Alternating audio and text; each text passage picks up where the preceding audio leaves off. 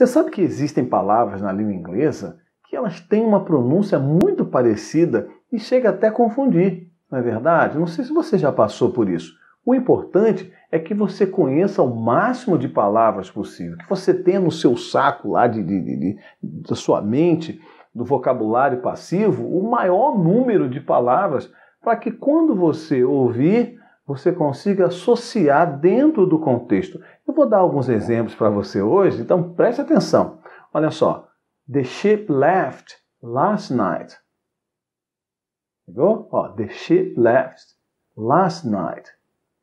O navio partiu ontem, ontem à noite. Uh, he sold a sheep to his neighbor. He sold a sheep to his neighbor. Peraí, peraí, ele vendeu um navio para o vizinho dele? Não. Ele vendeu uma ovelha. Uma ovelha para o vizinho.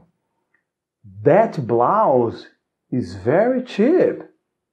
Ó, that blouse is very cheap. Poxa, agora ficou ruim. Agora eu não entendi mais nada. Estou perdido aqui. Aquele barco, aquela ovelha é muito. Eu não entendi. Quando você quer falar que uma coisa é bem baratinha, baratinha você fala this is cheap. Barato. Pegou aí? E a outra? I'm going to eat now a lot of chips. A lot. I'm gonna eat them a lot. Você vai comer barco? Você vai comer ovelha? Não. Aquela batatinha frita, aquela, né, aquela que você compra aí no mercado, na, na, na loja, você compra. Então, Kennedy, como é que eu vou fazer? Por isso que eu digo a importância de você conhecer todas elas e ficar praticando.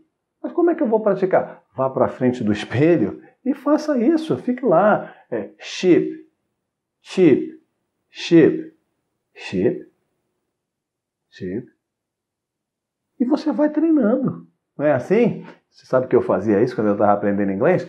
Pois faça, sozinho, vá praticando, vá falando. Agora, não adianta só as palavras soltas.